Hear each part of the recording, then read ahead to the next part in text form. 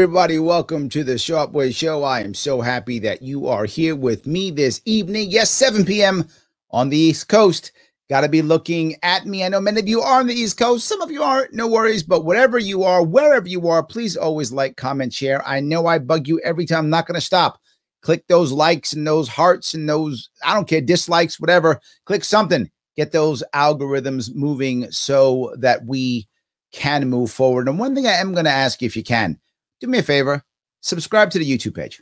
It does matter. The YouTube page, The Sharpe Way, is important. Please subscribe in case they throw me off of uh, Facebook because I'm about to go down a road this evening that may get me thrown off. So I'm just saying, I, I may be in trouble this evening. Hopefully, you will be able to support me in case I get canceled. I hope I don't.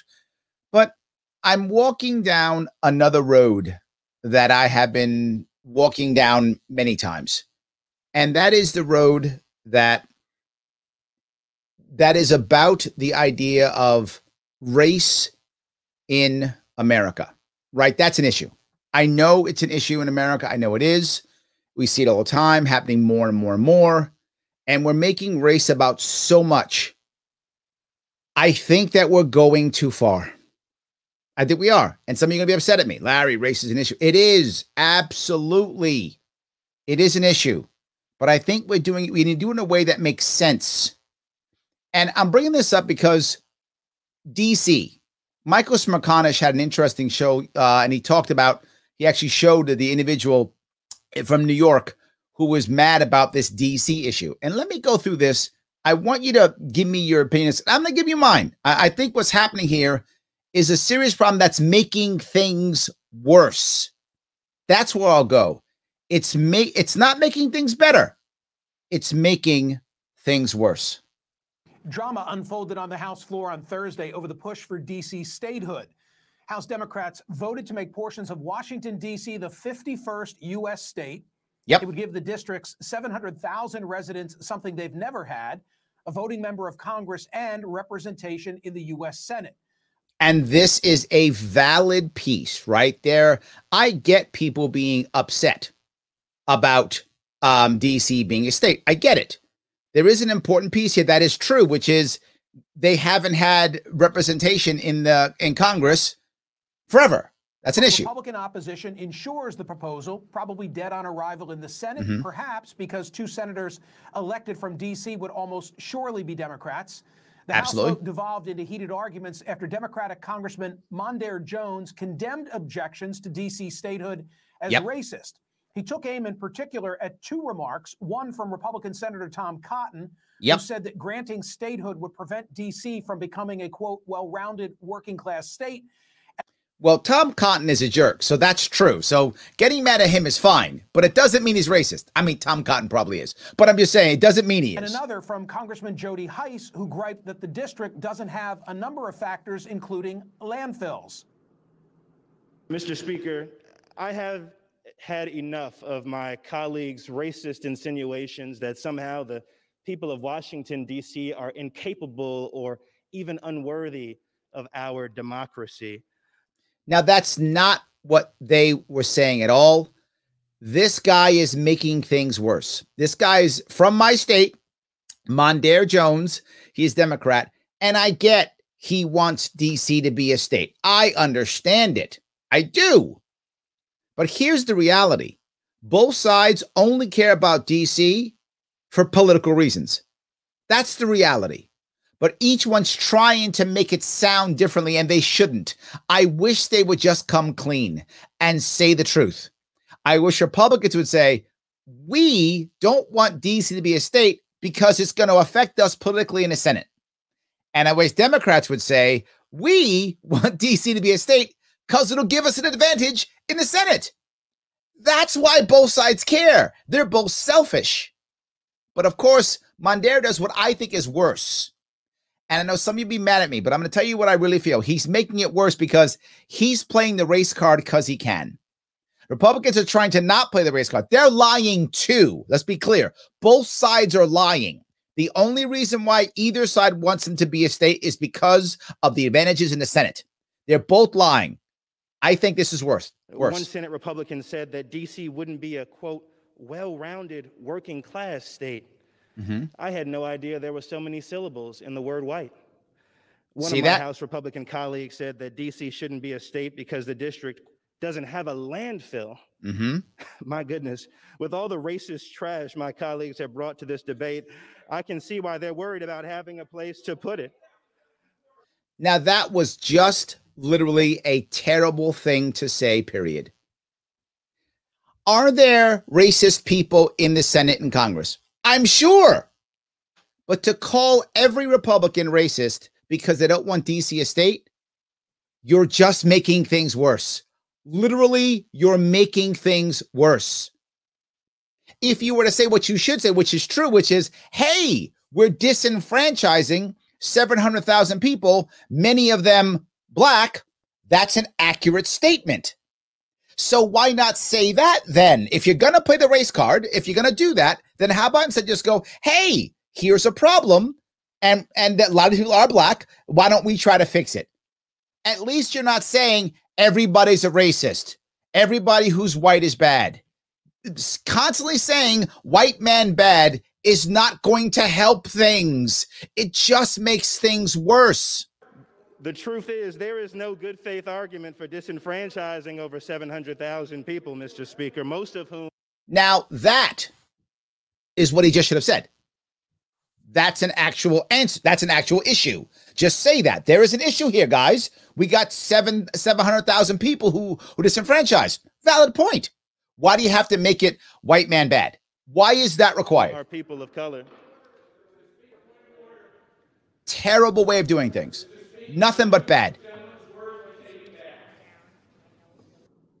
GOP House members, as you can hear, erupted in opposition, asked for Congressman Jones to agree to have his remarks stricken from mm-hmm. the congressional of course. record. He consented, but said that. Of course, he consented because Jones did it not because he actually believes it. He doesn't.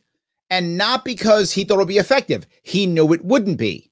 He did it to get a soundbite and to get on TV. Well done, right? His goal was to get on TV. Mondaire, well done. That's what you wanted to do. That is why he did it. The GOP's objections are all about fear. Congressman Mondaire Jones joins me now. There he is. He's on TV. Here. Is it necessarily racist well done. to oppose DC statehood? Now, listen, he literally asked the question. He says, Is it necessarily racist to oppose DC statehood? That's the question that Smerconish asks, giving him a chance to go, you know what? let me back away, let me change. I got my 15 minutes of fame. Let he Smerconish gives this guy an opportunity to now go, look, you know, I was hyperbolic, I was emotional, whatever. You could have easily walked this back right now. Do you think he's going to walk it back? Yeah, we'll see. In, in the case of the debate today, it is. Uh, of course, he says. It is. of course he says that. This was your chance, dude, to, to, to back it off. To go, ah, I don't think all my, my my all Republicans are racist, blah, blah, blah. Nope. Double down. Because when you listen to the explanation explanation set forth by my Republican colleagues, uh, you can see quite clearly that you can't say my Republican colleagues when you just call them all racists. And I want you to think, you listening, watching right now, someone at work, your job, calls you a racist publicly on TV, you're going to want to work with them. You know, you're not going to. This is not helping, Mr. Jones. This is not helping. You are making things worse. That's the problem. You're making things worse. And now these people who you're supposed to work with it cross the aisle and unity. It's not working, my friend. And worse, you're making everybody else scared to say anything. So now even your fellow Democrats who are white are going to be scared to say anything because you're going to throw the race car on them. This is not helpful. They are not offered in good faith. Uh, and the fact is, and something that I'm, I'm hoping people increasingly become aware of, is Tell that me. if you uphold systems of white supremacy, even if you do not consider yourself to be racist, you are. Look at Smerconish's face go down the second this horrible person says white supremacy. Why? Do you have to? Uh, there's Larry, why are you against the phrase white supremacy? I'm 100% against the word white supremacy because when you use that phrase, the word, I'm sorry, the phrase, when you use that phrase white supremacy, you are by default, whether you think you are or not, you are blaming all the white people of today. You're blaming every white person today. Wrong and wrong. You can't blame every white person. And why are you blaming today's white person for last century's white person? You're doing both of them that are wrong. So don't use that phrase. If you're going to say there are certain people who are disenfranchised, okay, let's have that conversation. I'm open to that. Let's I've discussed it. I've shown you how I see it. If you want to fix the system, let's not blame the people who have to fix the system. You can't fix the American system without white people. That's impossible. In case you didn't know, white people are a big part of our country. So you can't just to say, oh, you white people are evil. By the way, help me fix the system. It doesn't work. You've got to say, hey, white people, can you agree with me that it's a bad system? They go, yeah, that's a bad system. Okay, can we fix it? Sure, let's do that. That can happen. That's possible. That's the issue and this guy's making stuff worse and he's on TV. But look at Smirnoff's face, like, oh, he used the, the white supremacy word. Oh, phrase. Oh my God. Nothing but bad. Engaging in racist activity. Uh, there are 700,000 people in the District of Columbia. Yeah. More than in the state of Wyoming and Vermont. Yep. Yes. So the idea that we would disenfranchise those people, that we yep. would tax them without representation, something yes. in the Revolutionary War over, by the way, uh, is Yes, he's right in what he's saying. At 100%, I agree the people of DC should have representation. But if that's the case, why didn't we care about that? I don't know, 200 years ago or so? They haven't had representation for how many centuries now? They haven't had it forever. So, but now it's critical, right? I, I didn't care last year. I didn't care 20 years ago a literally a hundred years ago. I didn't care, but now, oh, now that's the thing, and it's only because I care about race, not because I want to get two more senators. And again, that's the problem. I don't mind the two more senators piece. I really am okay with that. All I'm saying is just say the truth. Just tell the truth. It's unconscionable. And when you compare the states that we have enfranchised with the District of Columbia and the demographics there, overwhelmingly people of color, uh, it is it is quite a sinister thing. Now, here's my point. He's right on this, meaning that there are more people of color in DC compared to Wyoming. That's true. So that means you could say this is racial or there's a racial component to it. Okay, I'll buy that argument. Let's discuss it. I'm okay with that. But something having a racial component or something having uh, or being racial doesn't make it by default racist. There is a difference. And once you use that phrase racist, you turn people off. Stop using it. it it's it's terrible. It is nothing but bad. If you got an issue that happens to be racial, Bring it up. Hey, race is involved in this. Can we have a conversation? Yeah. And guess what? The people who aren't the race who are in, in, involved will have that conversation. They'll talk to you because now you're not blaming them. You're asking them for assistance in making a change. This is just common sense business 101, leadership 101. And we can't seem to find it here at all. We can't find it at all. Well, I think I heard you say that to oppose it today is mm-hmm. necessarily racist, and you probably Opposing know today. where I'm going with this. When the first vote was taken on DC statehood in 1993, a majority of Democrats joined Republicans in mm-hmm. opposing it. Yeah, it used to be about 30 years ago that all of everybody was against it. Democrats were against it, Republicans were against it. So they were all racist then. Everybody was racist then. Democrat well democrats didn't want the crime bill so i don't know. Maybe maybe that is true. I don't know. But my point is they were all look look at look at jones's face like damn it don't say democrats. Look at look how mad he is. Why are you saying that? Shh, just go along with my my thing that all republicans are evil just go along with this mcconnell what are you doing Jones is not liking this. Were they racist? Right is right and wrong is wrong. Oh. And so, as I mentioned earlier, uh, people can come to a place of enlightenment, uh, as many people who voted in 1993 have now come to today, saying, you know what? That- See, he's now you're enlightened because you think like him. Oh, that's good. Enlightenment. Wow. This guy's terrible. This guy's terrible. That was the wrong thing to do. Uh, to uphold a system that disenfranchises 700,000 plus people mm-hmm. is voter suppression on its face. Oh, it's voter suppression now too. Okay. Uh, whoa. He threw a but. Well, to be forward, it is voter suppression. But you've made everything that's voter suppression also racist. So now when people hear voter suppression, they immediately hear racist. Instead of thinking voter suppression is bad, period. Black, white, Hispanic, Asian, no matter what bad. Now people immediately go, oh, racist again. And you turn pe- people shut off. And it is something that we need to be rectifying today, especially given what's happening throughout the country. Uh, in 40- yeah, especially with what's happening throughout the country. You mean especially what your consistent your constituents want you to yell about now? Not that you care, you don't.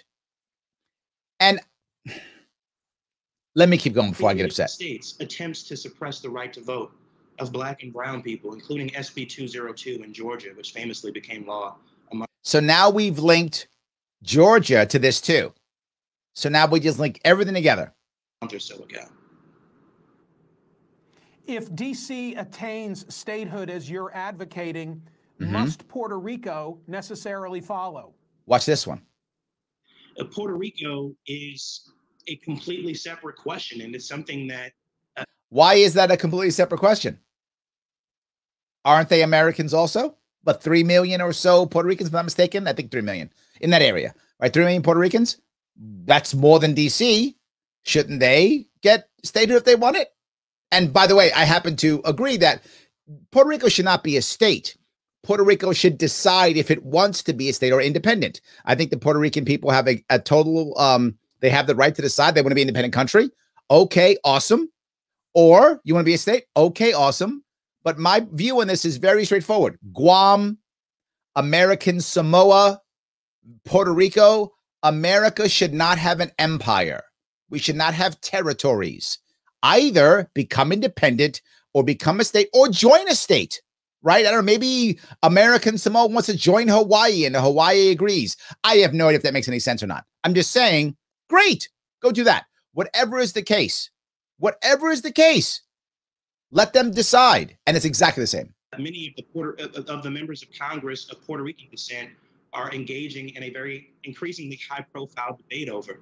I yeah. think if the people of Puerto Rico want statehood, then they should become a state. What of the solution that some have proposed, recognizing that Congresswoman Eleanor Holmes Norton doesn't get to uh, uh, vote and there is no Correct. Senate representation, as you've reminded Correct. us?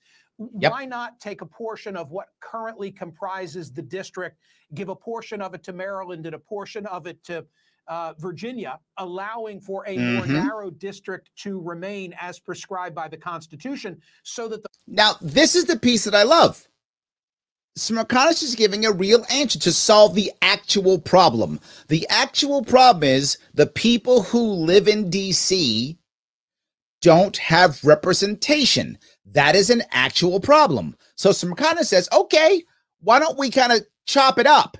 and give a chunk of those people to Virginia, then they'll have a Virginian, you know, district or Virginian um, um, um, representation, and a chunk go to Maryland, and then they get to have it too. They also get to vote and get everything they need, all of that, right? Absolutely.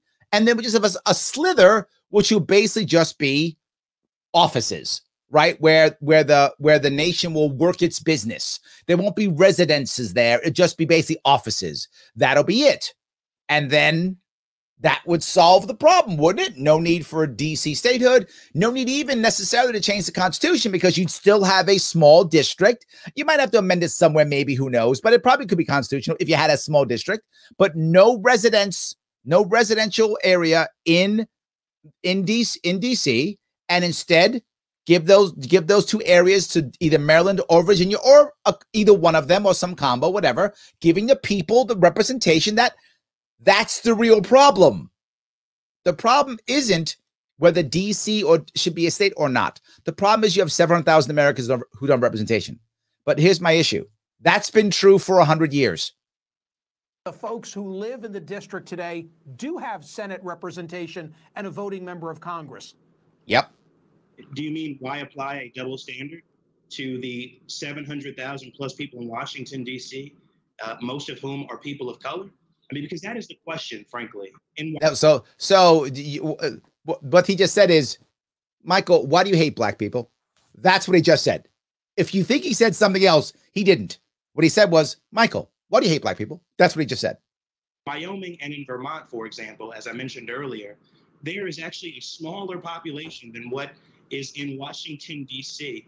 And mm-hmm. yet those states have two senators, uh, as well as congressional representation. Look, if you don't like the Senate, the Senate rulings, the way the way the Senate uh, runs, and I get that. There's an argument for that, right? I get the argument that why does you know South Dakota have two um, and Wyoming has two, and California has two. I get that argument. Again, that's an argument to have, but that's not a race argument. That's that's a oh, I think the Constitution needs to be amended to fix that argument. I'm open to that conversation. I think everybody should be open to that conversation because maybe that's an issue, but that's not based on race. That's based on could the founding fathers ever have known that one state could have 80 times the population of another? And again, we could have that conversation. I'm open to even changing that. I mean, I don't know. I haven't really thought that through, but I'm totally open to that conversation. It's not race. It's not upon, you know, people hurting each other. It's based upon representation in the Constitution. I'm happy to have that conversation any day of the week.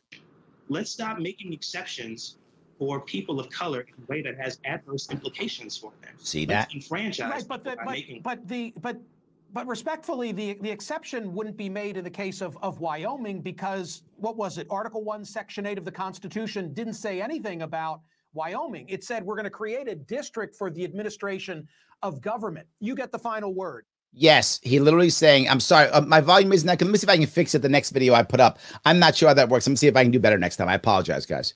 Um, what he's saying is, look, Wyoming and the other states, they aren't the ones talking about it, it, they aren't in the Constitution. DC's in the Constitution. So what are you to do? That's what he's saying. Yeah, I, I, respectfully, I, I think your response is not something that addresses the issue of those two states having more representation, which is to say, really any representation. Yeah, so he was like, that Constitution is stupid. That's what is his response. His response was, Constitution is stupid uh, you know, why is the Constitution black people? Well, the Constitution kind of does, but that's fine. That that is the point. That, that that's what that's that's that drives me crazy.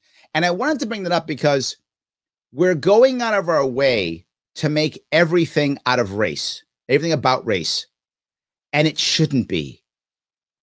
We've now taken a serious issue that people could talk about. There are two issues here that are valid issues to discuss. One of them is people in DC not having representation, totally valid to discuss.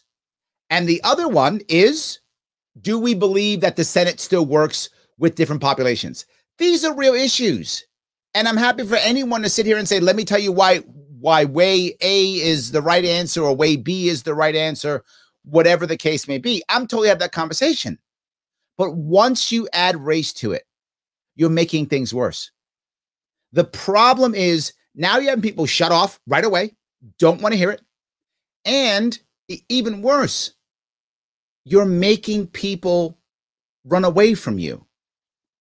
I have never seen, none of never, but the Democrats won the war last year. They won the battle last year.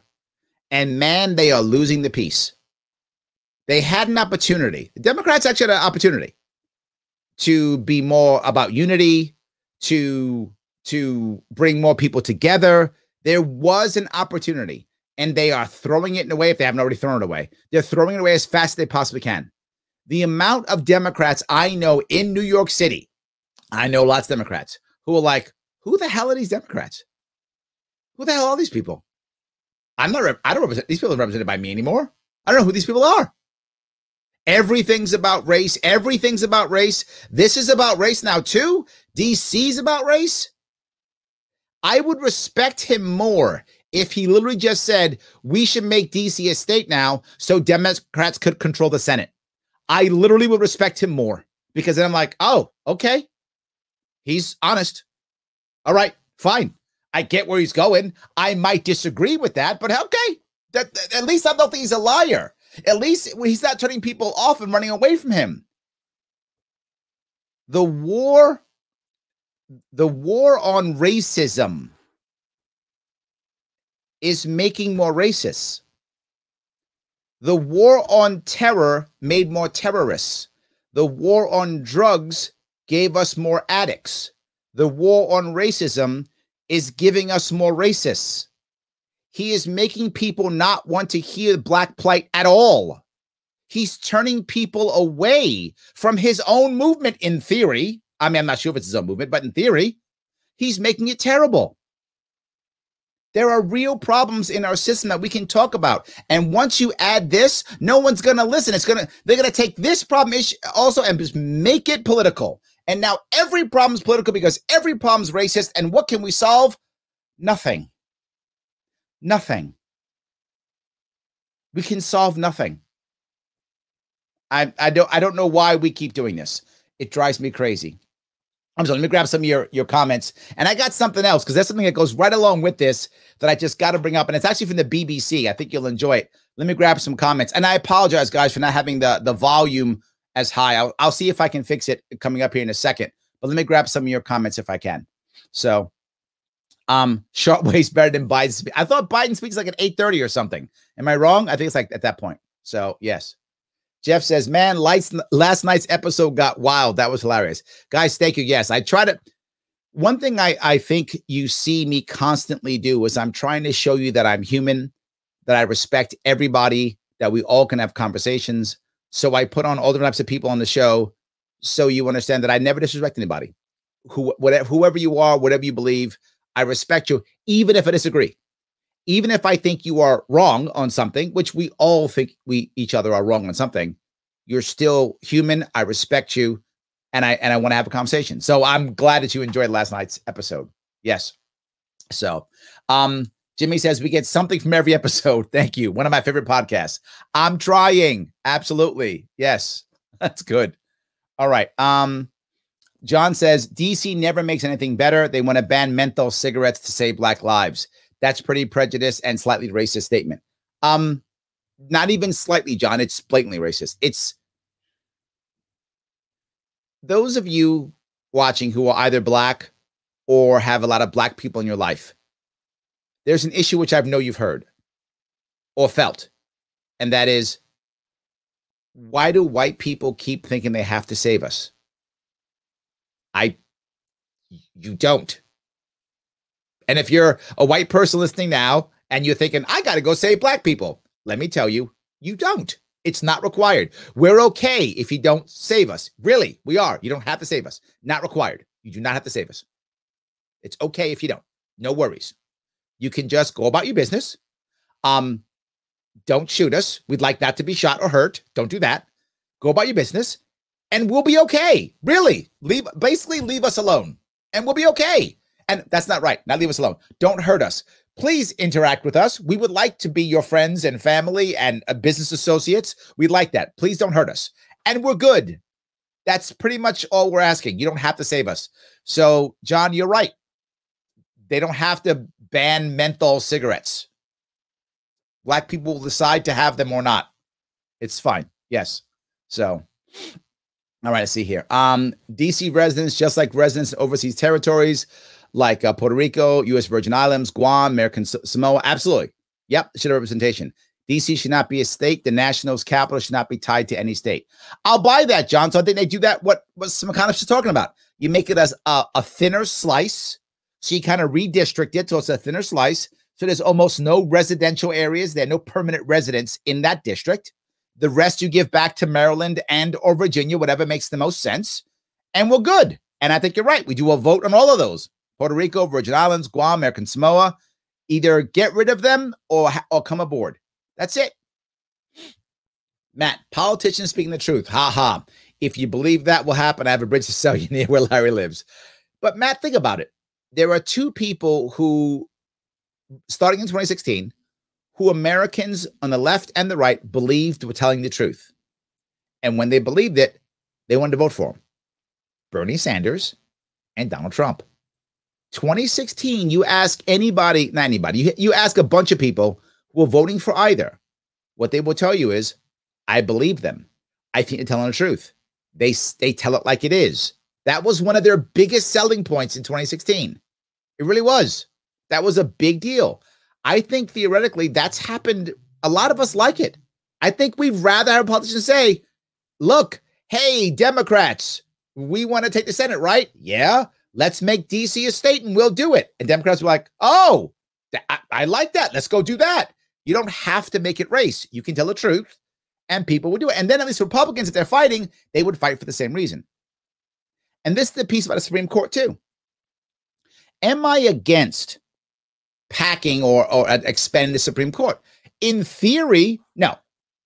In theory, be very clear on that. In theory, no. But the problem is the reason why the Democrats want to do it is to gain control of the Supreme Court.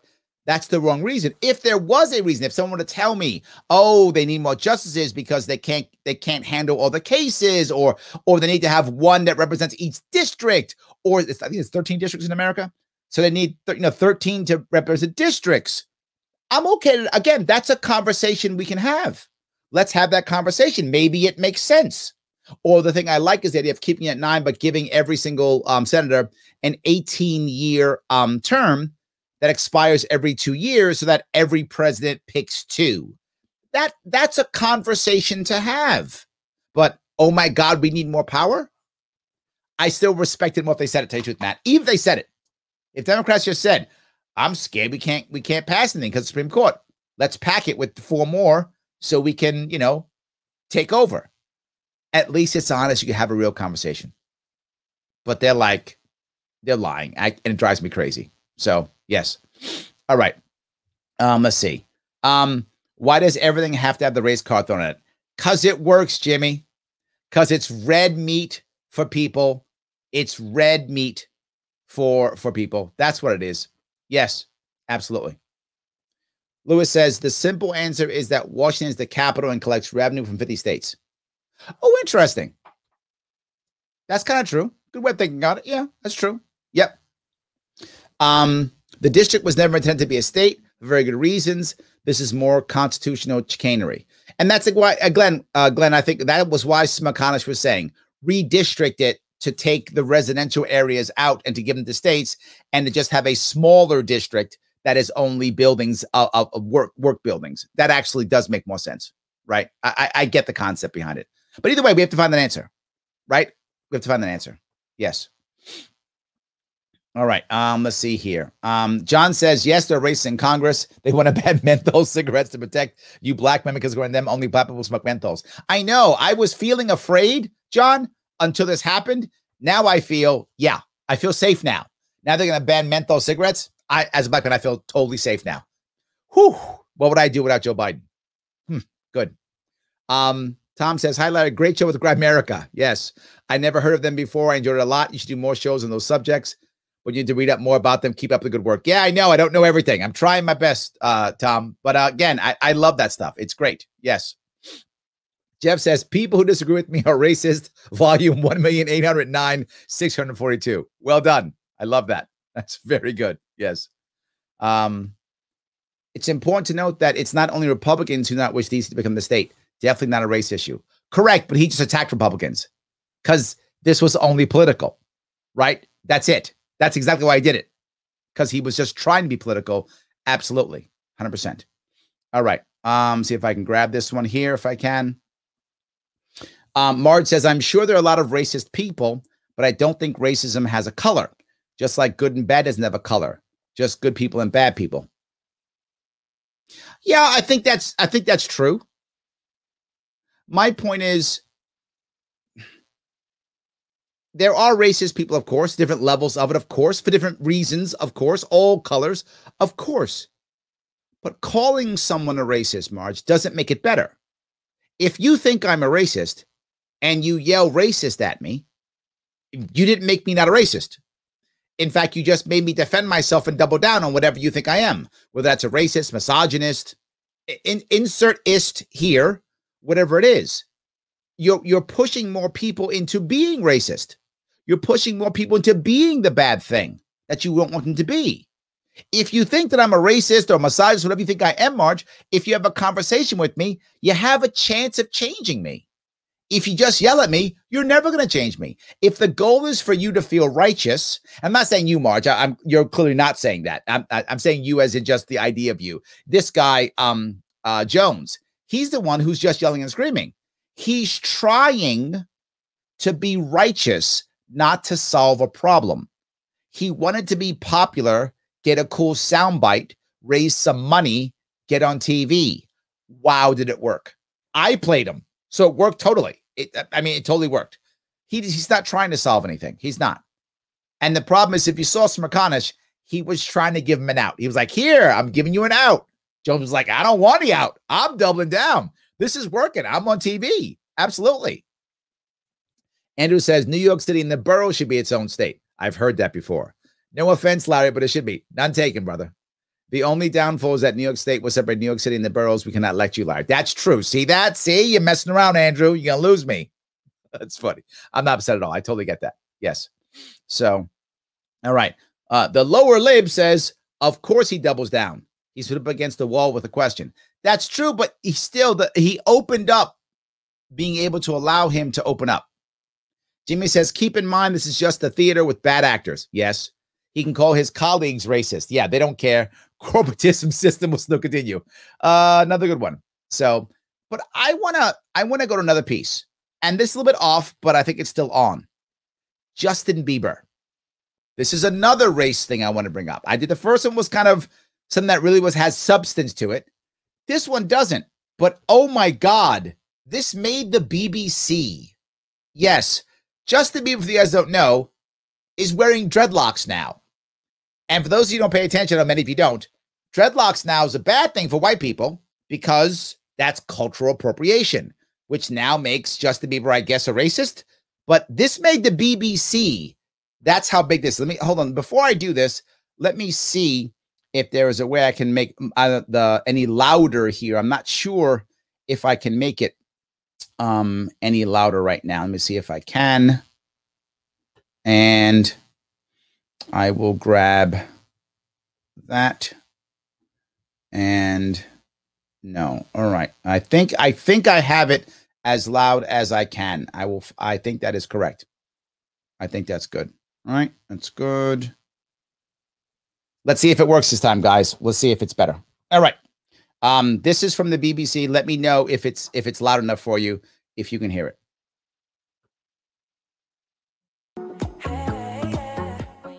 This program's proud boast, first with breaking Bieber news, would be meaningless if we weren't all over his latest hairstyle. There it is.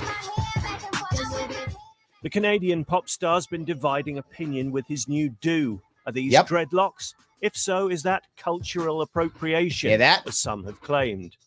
Another man's hair got him into trouble on a San Francisco campus. This was in a San Francisco campus. People actually approached this kid about his hair. You're saying that I can't have a hairstyle because of your culture? Why? Because it's my culture. You know what box means. Do you know what it was in Egyptian culture? Are you Egyptian? Nah, bro, you're not. See that? Are you Egyptian? No, but doesn't matter. Wait, where's Egypt? I have Do you notice that she said you can't have the haircut because it's my culture? I, I want to ask anyone who's listening, if you're listening or watching that, where it says you can't, where the where the young lady says to the young man, you can't you can't have that hair because it's my culture. How broken are you as an individual that someone wears a hairstyle and you are hurt by it? How broken have you allowed our culture to make you that you would stop someone in the hallway in college and go, How dare you wear the hairstyle of my culture? And how is that even a thing? Imagine how broken you as an individual that you look back and go, "Oh my god, he's got my hair. I'm I'm I'm destroyed." Wow, you are broken as an individual. No, you're not. Are you Egyptian? No, but doesn't matter. Wait, where's Egypt? I have certainly been told, made aware in no uncertain terms, that hairstyles that I've had that have been deemed too black are not appropriate for that situation. So Yep, again, when you see a white person who's able to just kind of experiment with these hairstyles um, as though they're some sort of costume and isn't subject to any of the sta- same stigmatization that a black person might be, um, it's it's it, it's very frustrating. So let me uh, let me get what she just said. What she said was, in case you missed that, well, in my life, I've been told that some of my hairstyles are inappropriate or wrong for business or not professional. That's true. That absolutely has happened. hundred percent. That's true. That's a real thing. She said, and then to have some white person be able to do it, you know, like some kind of costume. What is a hairstyle? It's a costume. What do people use hairstyles for? To either show off or to why do skinheads shave their head? To show they're part of the club or whatever the case may be. Why in the world would that be a bad thing? How is that a, a, a bad thing? And she's like, well, they get to do it without without this. So now everyone should be punished like you were punished. This goes back to my earlier point.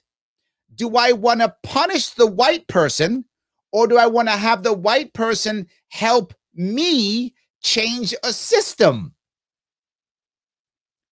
That is probably the better bet, isn't it? If I don't like the fact that someone might look at my dreadlocks and go, dreadlocks, I don't like that, shouldn't I instead say, hey, man, why don't you view me for me and not my dreadlocks? And we'll be fine versus going, now no one can have dreadlocks except for me. That's what she's saying. And somehow she's seen as righteous for that. But there is some good news. This is a British, this is the UK, BBC. This is the UK. They're talking about dreadlocks in the barbershop. Listen up, everybody. At this busy mixed barbershop in London this evening, the reaction to the Bieber Barnett furore seemed to be keep your hair on. Keep your hair on. I wish I had that amount of, amount of hair, right, Luke? I think why not? I think if you've got hair, you can do whatever you want to do with it.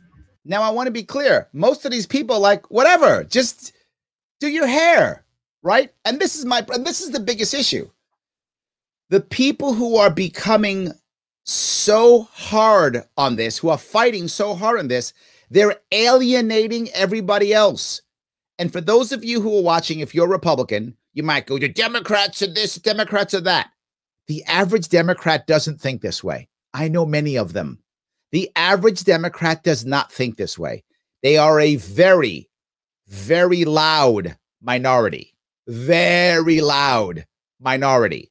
That's a lot. Of, you see it. You watch Fareed Zakaria. I've shown you get mad at this. Smerconish is Democrat. He's walking away. Bill Maher is walking away. You are seeing Democrats going, this is just too far for me. They're like, I hated Trump, but I don't want to go here. And that's where the Democrats are going. And this little, thing, this is the UK, but this, the sentiment is common. Oh, they look pretty. Yeah, I think they look nice. Really? Yeah, I do. I think um, the crossover between cultures, isn't it? Because it's predominantly known as a Afro-Caribbean type of thing. It, it looks a bit more like a punk, doesn't it? Look at that. And, and, and, yeah. Okay, so the black guy's okay with it. The Asian woman's okay with it. The white guy's okay with it. Yeah, like That looks uh, a bit punky. Yeah, yeah. You know, it's, it's not like uh, neat like Rasta or No. anything. I mean, he's like okay with it. Neater ones here. Oh, uh, geez, He's like, don't whatever. Too good to hair. It, he is copying the black style of dreads, I suppose. You could look at it like that, but he's he's sort of changed it up a bit. I mean, it's, as I say, it's like Mick Hucknall and Boy George. They they tried to do something like that. So now the black woman's like, yeah, I don't really like it much. You could, but look, Boy George did it. And for those of you who aren't old enough to know who Boy George was, um, some of us are old enough to remember Boy George. Boy George was a very popular pop singer in the 80s, and he did it too. And he's white from from the UK, and he did it, and people didn't jump up and down. And she's like, yeah, it's all right, I don't like it, but whatevs. And if, if he'd come to you for them, what would you have said? you'll be in the chair right oh. there. I'd, I'd, I'd, actually ask one of the customers to get up and get him straight in the chair. It's Justin Bieber. Justin Bieber. whatever he wants. Stephen Smith were with me. In- so now you would think that this would be okay, but no. The BBC now says, "Let me bring in these three people so we can talk about this." And yeah, we want to talk. Let me. I'm going to go to the comments, but just look at this. This is Justin Bieber in another country, and this dreadlock thing made the BBC, and they got a panel for it. Like they got a panel for this thing. Isn't that nuts? But I, I guess not. That yes. okay, let me just keep going here. So, um, Andrea says, "How is dreadlocks not hippie culture?" Thank you, Andrea. Yes, I used to tell a joke. I don't say it as much now, but I used to. Um, I used to teach a networking class, and I talked to me about networking, right? A business networking, not computer, business networking. And when I would teach it, uh, I taught it at Yale and at Columbia. And when I was teaching at Columbia, people would often be networking in um, in New York City. So I would tell a joke. I'd say, if you ever have to, you know, if someone ever wants to meet for coffee, I would tell a story. You know, it's okay. Coffee, meeting for coffee in the business world and I'm not sure that's true anymore since the since the COVID lockdown, but prior to it, it was true. What co- what meeting for coffee meant not it didn't mean drink, drinking coffee. It meant a short meeting with no food. That's what let's grab a cup of coffee meant in the networking business networking world about five years ago or so. That's what it meant. If you said let's have a cup of coffee, you didn't mean coffee. You meant short meeting, no food. And I explained to people what it meant. But if someone actually wanted coffee, you have two choices. If it's a large organization, they always have coffee there. If it's a small organization, bring coffee. And then, so which coffee to bring? Only two things. If you're in New York City, but not Brooklyn, you always bring Starbucks because that's the safest and the stuff you're supposed to bring. But if you're in Brooklyn, you always go to the nearest guy who's a white guy with dreadlocks. Whoever that guy is, whatever coffee he has, get his coffee because that's Brooklyn and Brooklyn's hippie. Now, I'm joking. It was a joke, I would say, but it's based on some true stuff in Brooklyn, if you know Brooklyn. But to your point, Andrea, white guys with dreadlocks, that's hippie culture. That's hipsters, hippies. That's what that is. There's no doubt. But all of a sudden now it's cultural appropriation. It's crazy. Missy says, soon as someone demands I can't do something, that's when I triple down doing it and ride that wagon till the wheels fall off. And Missy, that you've you've hit my point exactly in an attempt to get people to not do things that might be racially insensitive, you're attacking people. And now they're going to double, triple down. You're going to get more insensitivity if that's your goal. I'm just not sure if it's their goal. Christine says, Oh my God, chill the F out, everyone. Dress however you want, rock whatever hairstyle you want. Thank you, Christine. I would agree. Rock whatever hairstyle you want. Yes, John says, How is wearing dreadlocks cultural appropriation? Vikings said dreadlocks while this country was even a thought. That's true too. Actually, you know what? Let me keep going because they actually bring that piece up, John. I think you you and them are on the same page. Let me bring let me let me keep going because they actually bring this up. This is the panel. So critical, Justin Bieber. In the studio is Ian Dunt, the editor of politics.co.uk, Emma Dabiri, an academic and writer, and from New York, the writer Shimon Suleiman. They got people from New York, they got academics, they got writers, because this Bieber thing, critical. Evening to you all. Shimon, first of all, there's a particular big debate in the US. Yeah. Do you think uh, Justin Bieber has done something wrong? Oh, good question. I think I think uh, we shouldn't necessarily hold celebrities to to to a higher status than than uh, we should the, the rest of ourselves. I- now, wow, is that dumb? Of course you should. Like opening with that statement, okay, you're an idiot. I mean, we shouldn't. We shouldn't hold people who control more power over us because they're celebrity to a higher standard. Of course we should. Of, of course we should. They have higher social power, higher social status. People give them money because of their social status or because of their celebrity or because of their popularity. Of course we should. So dumb off the bat. I think the the issue really is I mean, he's allowed to do what he wants with his own hair. He's allowed to, it's his own bodily autonomy. But we have a responsibility to each other and we have a responsibility to marginalized communities to listen to why this hurts or if there's something that we're doing that is harmful. Okay, that's true. we do have a responsibility and we should listen to marginalized communities. That's true. To something that hurts them or makes them better. That's true. We should. It's hairstyle. Stop. Larry, you're victim shaming. Where's the victim? I I would be open to a conversation on how I'm victim shaming if you could show me a victim. Now, if there was a finite amount of dreadlocks, so like if Justin Bieber had dreads, now some black woman can't have dreads because Justin Bieber got her dreads. Okay, there's an argument there. But you can still have dreads if you want dreads. Justin Bieber having them doesn't affect you at all. It's really okay if he does or doesn't. And what might be harmful about it, and then it's not harmful. An informed decision from. No stupid thing that made no sense. Her response should be, Justin Bieber's a public figure. We do need to hold him to a higher standard because he's a public figure and he makes tons of money on people giving him tons of money. So we should hold him to a higher standard. At the same time, let him do what works. The guys in the in the paper, I mean in the paper. Look how old I am. The guys in the media now because of his hairstyle. Well done, Justin. Keep on going. That's the appropriate answer. Nobody's hurt by and this. In your view, what is harmful? Nothing is. I think there's a fine line between cultural appropriation and cultural appreciation. N- no, there isn't. There's no that there is no line. There's, there's such a thing. It doesn't matter. Cultural appropriation is when it used to happen. It was a thing. No doubt it was a thing. But cultural appropriation would be something like someone goes into the Bronx in 1970s, a white guy goes in the Bronx 1970s and says, "This raps thing is awesome. I'm going to start rapping now."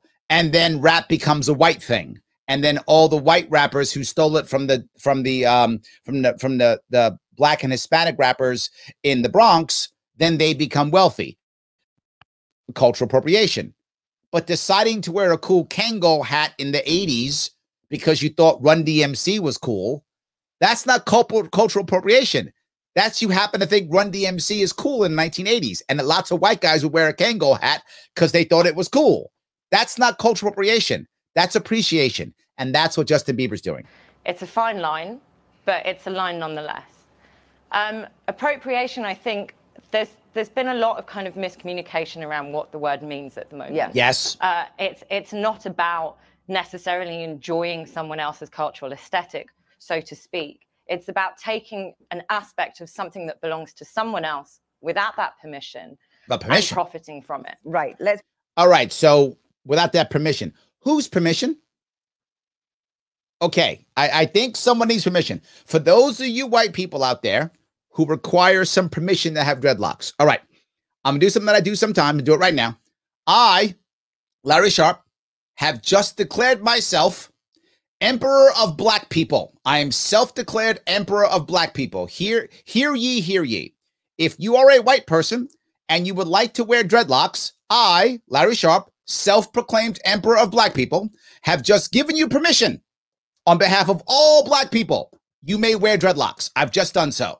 So now you it's official. You have permission. You may wear dreadlocks. I am now gonna step down. I'm gonna abdicate my throne. I am no longer emperor of black people. Done. Okay, so now you're set. Can we end this now? I've given you permission. And I'm no longer emperor now. I I only I was only emperor for like 20 seconds so I could give you permission. So now you have it. Again, how stupid. Whose permission? Jesse Jackson tells you if you can do it or not. Insanely dumb. Put that um, to Ian Dunt. Let, let me put that. Let me put that to Ian Dunt. Yeah, put someone else Um, on because you're an idiot. Particularly, it's somebody taking something from another culture, particularly a dominant culture, and taking advantage of, for example, a marginalized culture. Now, this is a valid point that she brings up, right? The first person to get off her because she's she's clearly should not even be on TV. But uh, she actually comes up with a valid point. If a dominant culture were to take something from a marginalized culture, and then because you're a dominant culture, you don't allow them to grow from it, but you grow from it, that is cultural appropriation. And of course, that did happen with certain aspects of Black music uh, last century. That did happen. There was some of th- that absolutely did happen, but that's a specific thing. And if you're talking about that specific thing as a group of a dominant culture that keeps down the other culture and then takes it, that's different, right? You could say that in theory um, uh, for many different things that happened over the course of history. Some guy wearing dreadlocks is not that. Yeah, I mean, like Chicken Tikka Masala or um, or Elvis Presley and the Blues, which basically created rock and roll, is exactly. Oh, okay. Oh, okay. Okay. Let my white friends, my brothers and sisters, let me please give you a bit of advice when talking to black people. Never say Elvis Presley created rock and roll. We're not going to be happy when we hear that, particularly if you're an older male, older females too, but particularly older males. We, we don't want to hear that. Don't don't say that. Just go Elvis Presley, loved him. Fine, all good. You can love Elvis Presley. But if you say he invented rock and roll, we are not going to like that because that was cultural appropriation. In that case, Elvis Presley took a black form of music, and because the industry was white and dominated back then, that made sure that the black artist could not make money and that he could. That was a thing. Literally, they were banning black bands from going on stages. They were banning black bands from being on TV, all those things. They were banning black bands from being on the radio, getting music contracts. That's true. Now, today, if you look at like rap musicians as an example, R&B musicians, the vast majority of people who are making money are also the black artists that concept of cultural appropriation that samely does not exist like it used to. That was, without question, what's that, 70 years ago, give or take? Is am I about, am I about right? 70 years ago, give or take? That was cultural appropriation. That doesn't happen to anywhere near the level now. I mean, I'm close. Are you now saying that if if Americans make anime, it's cultural appropriation of the Japanese? No, the vast majority of people making money are, are usually East Asians, either Koreans or Japanese, some Chinese, but it's heavily Korean and Japanese. But that's not cultural appropriation. That's enjoying it because you like anime or you like rock and roll, whatever. But guys, please don't do that thing. That because as, as we are, as people, we mix and we mix culturally and we mix artistically. And thank God that we do, because if we don't, we are functioning in an almost identical operational way to the way the far right has always asked us to in our little identity ghettos. And that seems like yes. a rather more severe thing for us to face than just. A- it's it's it's the horseshoe theory, right? The left becomes so left, it becomes hard right. The hard right becomes so hard right, it becomes hard left. Right? It's that, it's that horseshoe theory, and he's right on this one. I mean, don't say the Elvis Presley thing, but besides that, he's correct. If we walk down this road that deeply, there's no difference between hard right and hard left. Bieber's haircut. Emma, does intent matter then? I think for, for, to begin, I think saying that Elvis started rock and roll is oh, typical of the type of erasure that happens um, when we see cultural appropriation at its finest. It's when yeah, I, I, don't like some things she said, but she's totally right here. And please, my white friends, don't ever don't say that. You're just gonna you're just gonna trigger black people. Just say you like Elvis and move on. You don't want to say he started rock and roll because you're gonna you're gonna trigger us a, a, white, generally a white artist, is credited, and history will credit this person as that being is true. responsible. That is being responsible for something that has been born. Shame on him for walking into that trap. From black struggle and, and black innovation. And you would say that about the Rolling Stones as well. I'm not. Uh, uh if, if we're going to say that the Rolling Stones. See, she can't say Rolling Stones because it isn't really true. It's semi true. By the time the 60s was coming, black artists were starting to make their money. We had Motown, it was starting to happen. So it isn't as crystal clear with the Rolling Stones. Um, but it was, and the Rolling Stones, by the way, um, actually tried to hire and assist other black artists. And that's why she's kind of hesitating Rolling Stones. Elvis Presley, that's not the case. That was cultural appropriation. Invented rock and roll, that's the problem. Yes, they've contributed to rock yeah. and roll and they're rock and roll artists in their own right, but to say that they invented it right. or that they're the source of the creativity is just completely spurious, yeah. ahistorical and inaccurate. And also, I think what's really crucial is the idea that this was framed, I think the question was, is this an insult to African culture? It was, there was something mm-hmm. there was something like that. The question was talking about African culture. I think when we live in um, a time when African cultures, which are obviously diverse, are still kind of routinely stigmatized, mm-hmm. presented what? as lesser, presented as primitive really? and underdeveloped. Yet at the same African culture, um, is she talking about like Africa from Africa? Or is she talking about African American, or as they say in the UK, Af- Afro Caribbean for the UK? Is she saying that? I don't think that's true at all. I think she's just made that up. The amount of people I know who are not black who love things that are typically black. I mean, whether it's basketball, soul food, rap music, insert thing you want to say that's typically black. There's lots of people I know who are not black who love things that are typically considered black constantly. I'm not sure that's true at all. How about the amount of amount of white guys who think they want to be the, as cool as the as the as their as their black friend? I think there's a. I don't think that's true. I think she's making this up time there's a systematic extraction of African resources, be they physical, um, material, and cultural. That's when it steps into appropriation because it's not appreciation. Okay, if you're saying appropriation, meaning that you're you're going in and taking, I don't know, resources from the Congo, that's not cultural appropriation. That's just exploitation. Which there's an argument for that without question. But you can't mix, I don't know, China or the UK or whomever, the US going into Congo and you know extracting blood diamonds or whatever um, do they do blood diamonds in the congo? Whatever that is right? Whatever the the the bad stuff we've done in sub-saharan africa which we're totally guilty of terrible things. The west is and so is the far east guilty of terrible things in sub-saharan africa. That's not the same as justin bieber wearing dreads. Stop it. Stop it. You're you're making this something far bigger than it is. Because we don't actually appreciate African cultures when when when black people are participating mm-hmm. in that cultural production. It's only it's, it's only, only when white, white people then starts to. The rap industry is full of black people. The entertainment industry is full of black people. A- am I wrong with this? Now, if you again, if you go back seventy years, they were they were not the industry. It was just entertainers, no producers, no owners. That's true. If you go back seventy years, today um, I'm not sure that's true. I would be happy if someone would show me data, show me that I'm wrong. Maybe I'm wrong on this, but I I just don't see that being true culturally. I mean, Oprah is, I mean, she's a mogul. Beyonce, a mogul. Simmons, a mogul. P Diddy, a mogul. Um, I don't know. Damon, a mogul. I mean, I think there's many who are, are who are making money in a cultural era um, I don't know. Maybe I'm wrong here. I'm happy to be proven wrong here. I, I don't. I think what she's just talking like, well, what about 70 years ago? I take ownership. Exactly. So if we were just to put to one side, for instance, the idea whether he invented rock and roll or not, fine, put that all to one side. Thank you. Put that was away. Was Elvis taking the blues and doing something with it? Was that an act of cultural appropriation?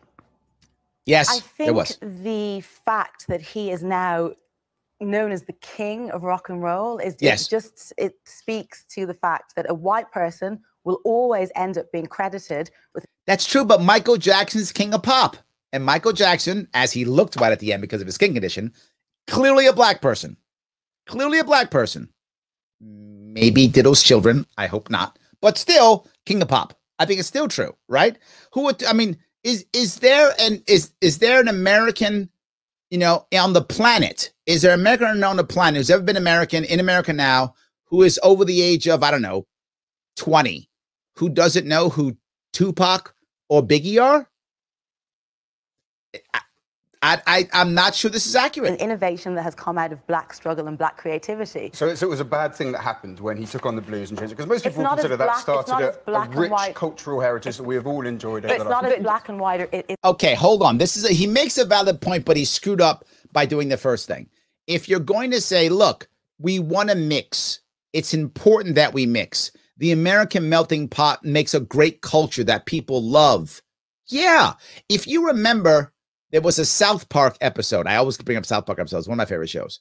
Um, years ago, when Chef was on, uh, still on, uh, when Isaac Hayes, who re- who passed away several years ago, um, when Isaac Hayes was playing Chef, when Isaac Hayes uh, was was playing chef, talking to people, He's saying, "Us black people, we have to keep changing words because every time we say the words, you white people pick it up, and then we don't. We want to have our own words. We keep changing. So it used to be, you know, for show. Then it became for shizzle and then we had to change and he said something else right he he made something up right and he's saying that's how we got to keep changing it now that's a joke but that's also what makes us great yeah we absorb each other's cultures the the non-white person is picking up black culture because they like it they think it's cool or special or different or unique not because they're trying to make fun of it not trying to make money off of it you think the average white kid in high school who's trying to, you know, be like his favorite rapper is is doing it so he can make money? He's doing it because he thinks it's cool. That's why he's doing it. And that's fine. It's not cultural appropriation. That's a good thing. And if he wouldn't have said the the Elvis thing, he could have said, "Isn't the melting pot a good thing?" And she wouldn't have a a, a comeback, but she does because Elvis thing.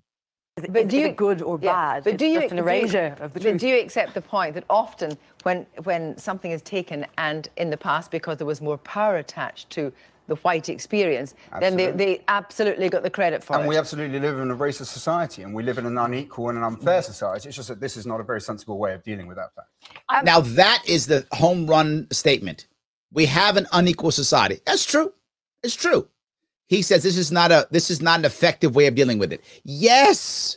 That's been my point this entire show. It's not helpful to make everything about race.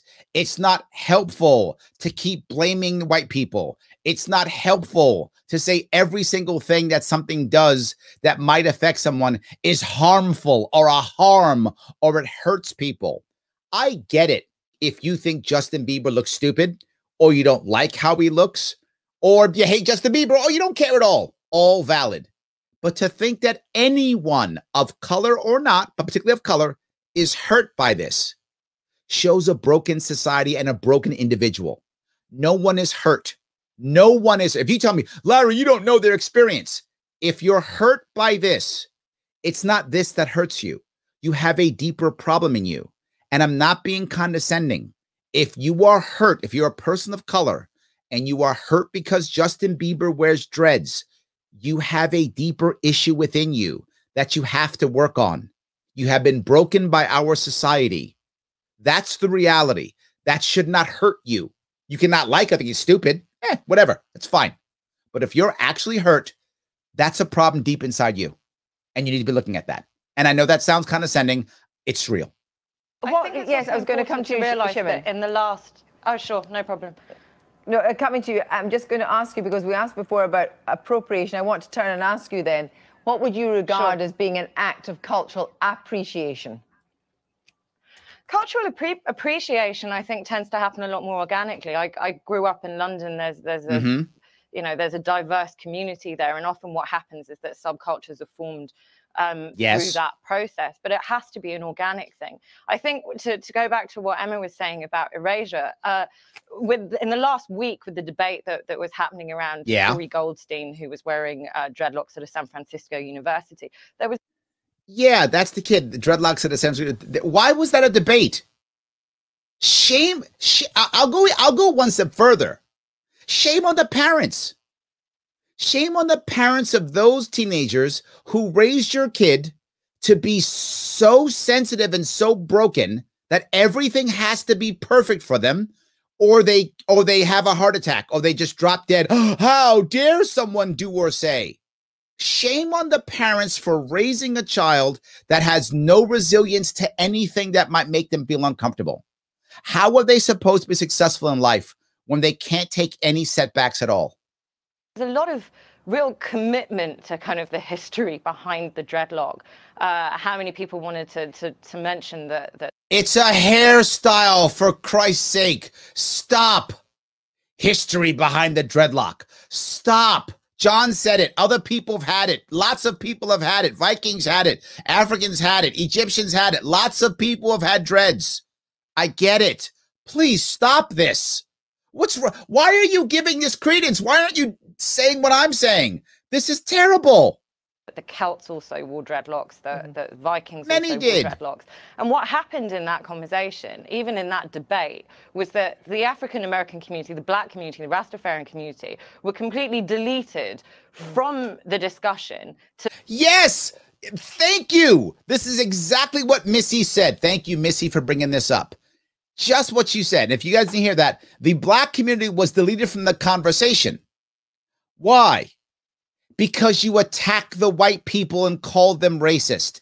And when you call people racist who aren't racist, they have to defend themselves because people who aren't racist hate being called racist. The only people who like being called racist are actual racists. They don't mind because they're actually racist. But if you actually defend yourself, it's because you're not racist. You don't like being called racist. So what do you do? You find other answers. You double down and say, see, I'm right. See, I'm not racist. So you delete. And now the people who want to be included get deleted. This only makes things worse. And she's like, well, they shouldn't have done that. What did you expect from them? To favour a group of people who haven't existed for the last thousand years, right? Um, and it's it's it's this it's Well, this let- level of erasure that we're talking about. Well, let's let's talk about. No, but you're encouraging it. I have an idea. Let the dude wear dreadlocks because he thinks it's cool. And if it gets cool, then you can wear your cool dreadlocks too. And everyone will think it's cool. And if he wears it and people don't think it's cool, you can learn, oh, I shouldn't wear dreadlocks. No one thinks it's cool. That you could just say nothing. I know it's crazy. You could just say nothing. You could go, it's hair. And if you don't like his hair again, if you think he looks dumb or whatever, you can just say that. You don't have to make some kid. And here's the odd part if you're a white guy wearing dreads, you're probably left leaning. You might not be. That's kind of stereotypical, but you know I'm talking about. You probably are. You're probably down with the movement. You probably are. You're probably a Black Lives Matter guy. You probably are. You might not be, but the odds are you are. So now you've just turned him off. You've pushed away your ally. I would think that you'd want an ally in your battle. Clearly, you don't. Clearly, you don't even want an ally. How stupid is that? different kind of erasure that you might call it, uh, Emma. If you look at Beyonce, who got a lot of flack for taking a Yeah. Bollywood theme in India as part of a Coldplay music video. So Beyonce picks up a a a, a an Indian theme, Bollywood theme on her videos. Was Beyonce guilty of cultural appropriation? All right, Ben. Now, I Ben, think um, come on, cultural Ben. appropriation isn't just about um, kind of taking the signifiers of a different Mhm. cultural group and, and and wearing or using them. Oh, it's not. actually more about power dynamics. And as Oh. far as I'm aware, there isn't Power. um, there there So Beyonce's not powerful compared to Indian people, right? As far as I'm aware, superstar Beyonce doesn't have a power dynamic over India, one of the poorest countries on the planet. Yeah, no, no power. Stop. isn't such a discrepancy of power dynamics between African Americans and Indians, and there's not kind of a systematic use of Indian culture by African Americans for their own kind of material and cultural Yeah, but the reverse is true, isn't it? I'll ask this seriously, and this is not to be um, stereotypical, but if you know many Americans who are of Indian descent, and I know many of them, the amount of Indian youth I know who love black culture, oh my God, it's all over. Love black culture. Basketball, rap music, many. I mean, obviously not every Indian kid, of course not, but I think many of them do. They like black culture. Is that cultural appropriation? I don't know. It seems insane to think this. Beyonce wants to go ahead and use a, a Bollywood theme. So what? Let her do it. Some kid wants to wear dreads. So what? This idea of cultural appropriation is trying to put us into more and more boxes. gain in the same way that global popular culture takes and takes and takes from black culture, but black people are rarely credited. I don't know what you're talking. Black people are rarely credited. Where is she getting this from? Am, am, am I wrong? I, I don't know. Am I? uh, Where is she getting this from? It seems silly you, to me. So, so do you accept the difference, Ian Dunt, that actually, eh, if, if Beyonce, for example, because Mhm. you, eh, you were saying there's a kind of there's a kind of uh, similarity in terms of power between, for example, an African American culture and an Indian culture, that actually it's okay for Beyonce to wear dreadlocks. Is that what you're essentially saying? That there is a difference? I'm saying there's a difference because it's about it's about Yeah, power do you accept that power dynamics? Yeah, uh, look, let me. let- I'm I'm I'm gonna be done with this. the The issue I'm trying to get at here is there there are certain aspects that are real, right? There when there are power dynamics, that does happen, but I'm not seeing that hardly at all now. I mean, again, guys, if you think I'm wrong, please show me that I'm off here. But what I see here is if you go back 70 years, 60 years, 50 years, there were many times when black artists had literally had their stuff stolen, by by white elites who had a system that was stopping them. That was happening. That was, in fact, in the 30s and 40s, the norm. Of course it was. Of course it was. Now, nowhere near as much. Many more black artists, many more female artists, many more uh, artists who are in what we would call a, a, a marginalized group are moving to the top faster than ever. In fact, even those in power, and still at the highest power, many of them, particularly financiers, many are still white males. Not all, but many are. There was a time when almost it was only only white males. That is no longer true either. There are now more female and people of color who are in the financial um such uh, in financial space making tons of money. Absolutely, and who are financiers. Absolutely true. It is happening more and more. That's a power dynamic. And I think the blatant, clear black and whiteness of that is in today's world gone. If anything, it's cultural, not cultural, classist, if anything. And even that's not 100% true. But maybe you could you could go to maybe classist if you wanted to stretch it. But it really isn't that racist at all when it comes to culture much at all anymore. In fact, who else is setting culture?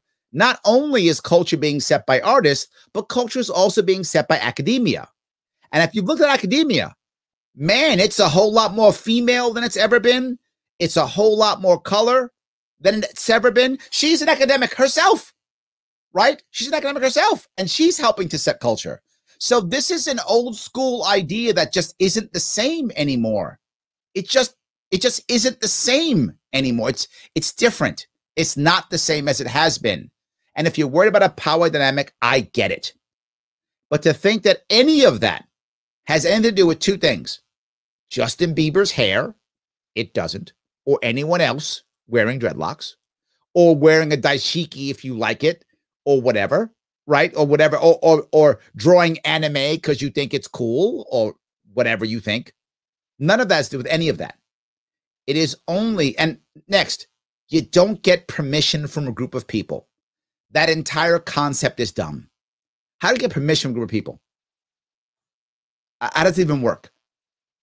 All I want to do is make sure that what we're doing to the best of our ability is allowing individuals to grow to the best of their ability and not having systems that keep individuals down. How does the Black community grow? By having individual Black people become powerful. How do women grow? by having individual women become powerful, etc., etc., etc. Allow people to be powerful, allow people to be strong, and their indi- and their individual groups will also become strong. That's how it works. Let me grab a couple comments here if I could. Some of you are going to take off and go watch the president, but that's okay. So, um, Gwenda says, not only did they raise an overly sensitive t- child, but also mean a nasty one. Yes, absolutely. 100%. That's true. Shame on helicopter parents. Yes, 100%. Michael says there are a lot of white people in Colorado with dreadlocks because they love Rasta culture, music, and resistance and religion. Yes, it's comical to criticize people for haircuts. Michael, thank you for that. If you like Rasta culture and music and you want to wear dreadlocks, go ahead, man. That's not cultural appropriation. It's not. Just make sure that in Colorado, they let black people make money off of weed too. That's it. Again, I go back to a system. Don't have a system that says black people can't make money off weed. If you allow black people to make money off weed, like everybody else, same as white people, Hispanics, Asians, whatever, and then go ahead, wear your dreadlocks all day. That can't be it would only appropriation if they would take the culture and then a system would keep the black people down. If that were true, that would be cultural appropriation. If that's not true, it's not. It's literally that simple. That's the line. It's a, not a it's not a fine line. It's a thick line. Does the system keep the disenfranchised from moving forward? If it does, and the dominant culture takes that, that's cultural appropriation. If the system doesn't do that, wear whatever dreadlocks you want. Life is good. Yes. So, all right. All right. Um, who wants to die on this hill? Too many festies, wooks for that. Jesus Beavis, it's a mind numbing. Yeah, it is. I, I don't know why people want to, but some the problem is, Michael, some people want to die on every hill. Every hill. Not me, but some people do. Yes. Janice says, How about the show hair? That's actually funny. Yes, absolutely. Yeah. Um, uh, Dems are good at that, says Lower Lib, rejecting allies.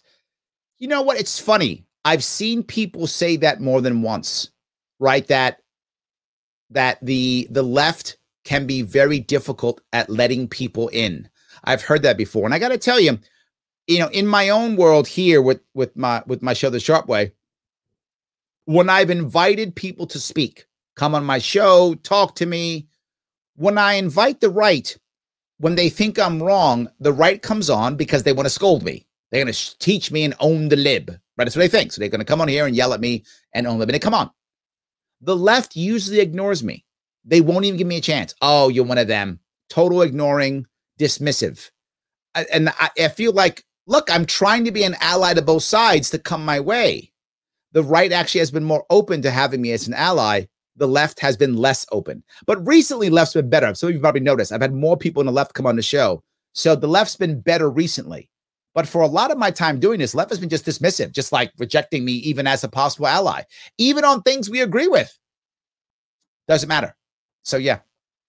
Adam says this is when the left eats itself because they need to play the victim, regardless of their actual victims. You know, this is a valid point, Adam. I do think we don't want to be victim blaming. I'm not a fan of victim blaming. I'm not. The question, though, to your point is how do you define victim?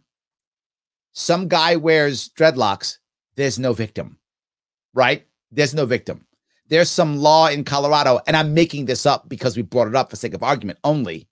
There's some law in Colorado saying, you know, um, if you've been convicted of crack cocaine, um, you can't get a, a, a cannabis license, knowing that crack cocaine is usually in black neighborhoods and cocaine is usually in white neighborhoods. That would be a systemic issue that would keep black people down on purpose. And then if people then took those people and made them work in the uh, you know for the white people who got the license so they could grow that would be cultural appropriation or appropriation and there would be victims in that case but almost always victims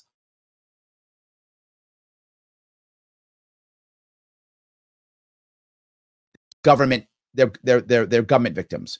In this case, there is no victim. I don't want to blame victims, but we got to find victims. So Matt says again, who would have thought that incendiary generalizations about large swaths of population do not change hearts and minds? I know, Matt, crazy. Why can't people have their conversation anymore without attacking each other? Perhaps schools need a class on that. Conversation one on one. How to not talk like an a hole to others. I'm in.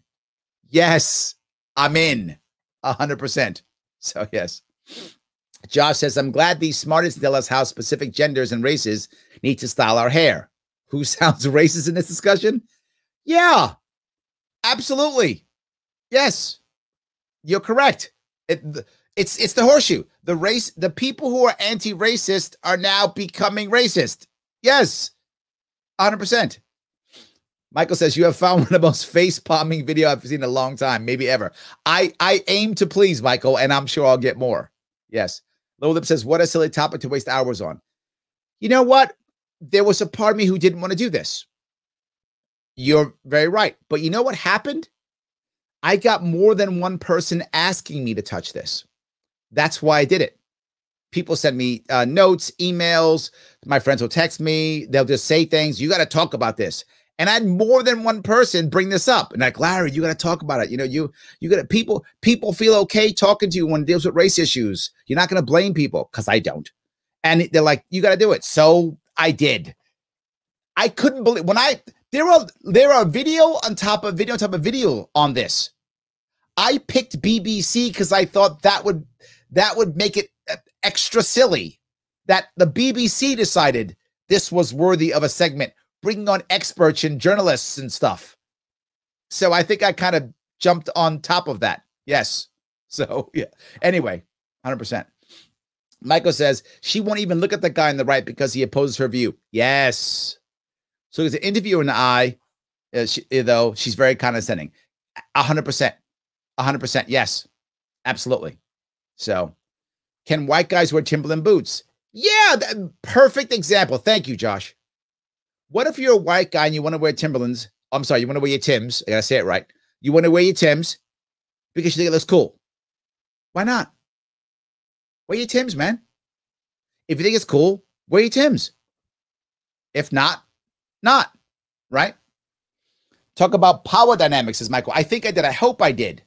Um, I tried to express that. Yes, I I I think I did. I hope that was uh that was good. So, all right. Why isn't anyone complaining about Charlie Pride or Darius Rucker singing country music? Why wasn't anyone worried about the white Canadian that had the number one reggae song for forever? Yeah. Um, I don't think any of those things are wrong, John. I think I think it's a it's a valid question, and I think they're all good, right? If if you like country music, and and you're black and you want to sing, I mean, I remember Charlie. Charlie Pride passed away. I remember Charlie Pride.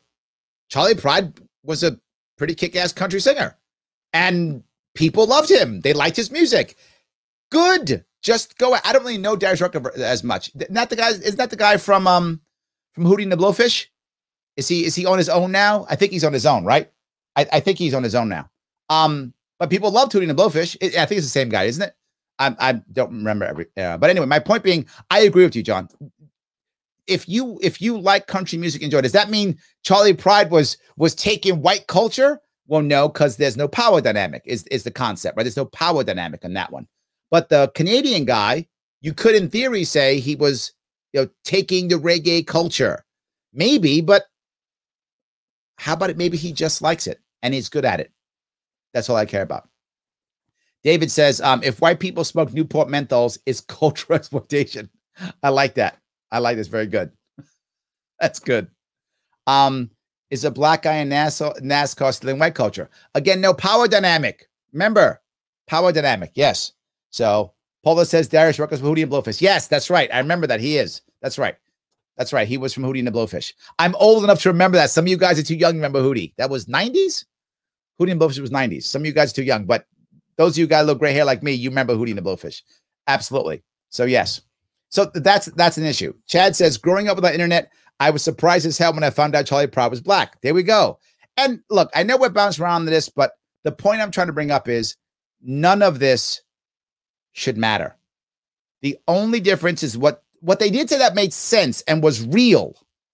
And that is if there is a power dynamic that creates a system that keeps a marginalized group down and then a dominant group takes that culture and goes off and makes money, that's cultural appropriation.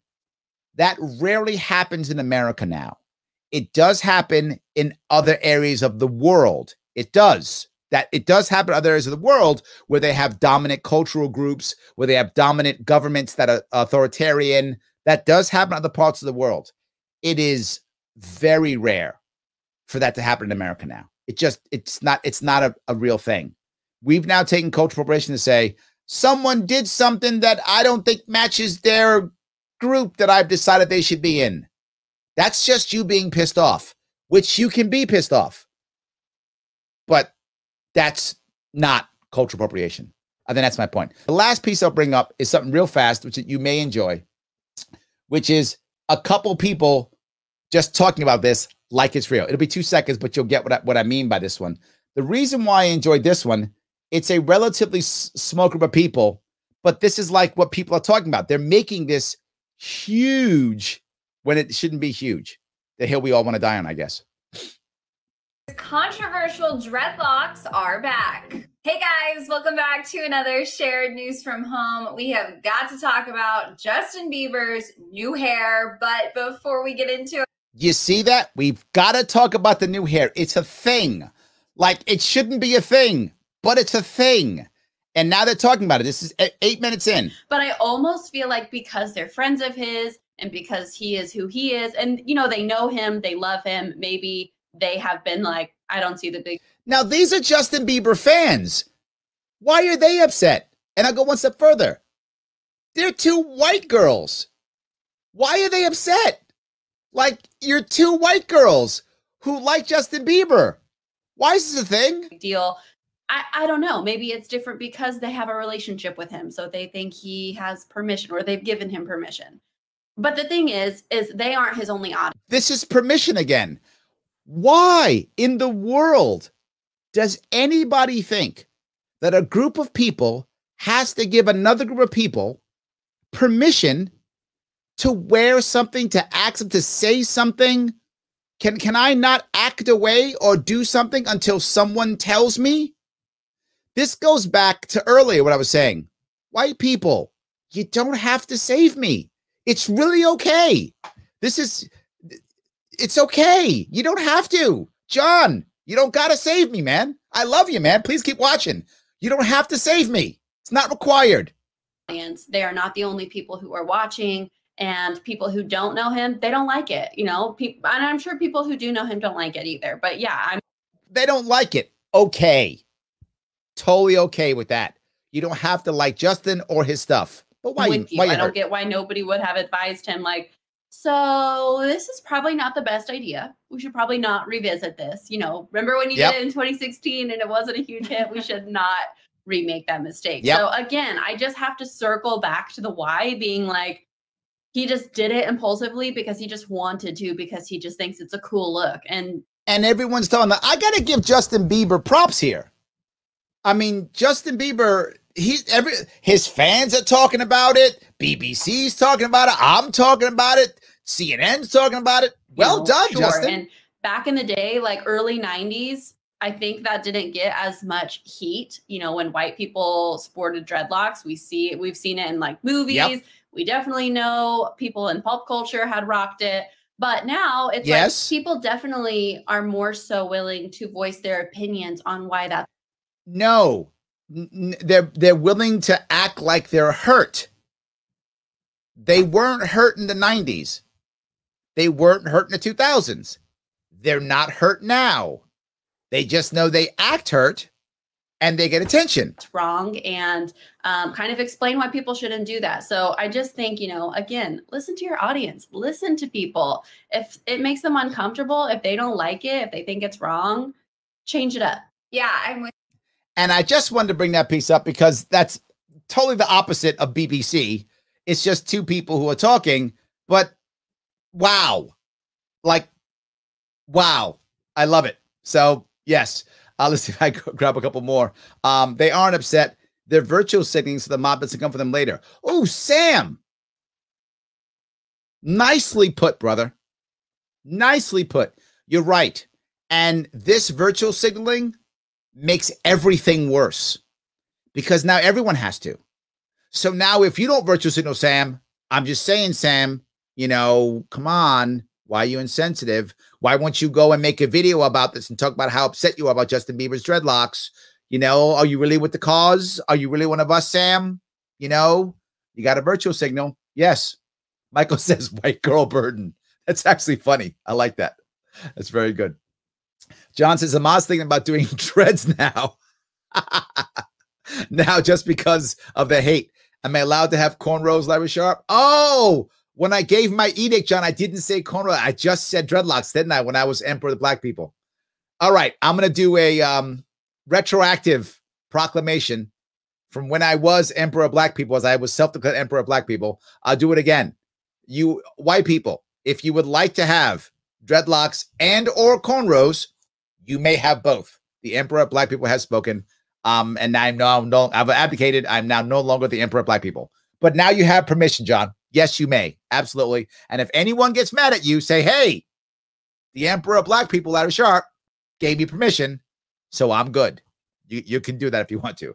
It is so insane that you ha- that we have to even think about this, John. If you, I mean, I don't know, cornrows are kind of cool. If you want them, enjoy. But yes. So uh dang, I think I smacked my daughter in there somewhere. Ryan, stop. That's good. All right. John says you need permission to be who you want to be now. Wow, is that sad? You're right. Be who you want to be. You know, be who you want to be. 100%. Michael says nobody has to save anybody. Yes. We just need to stop throwing obstacles up in some people's paths. 100%. That is what the LP is about. My man, Michael. Yes, my man. Yes, absolutely.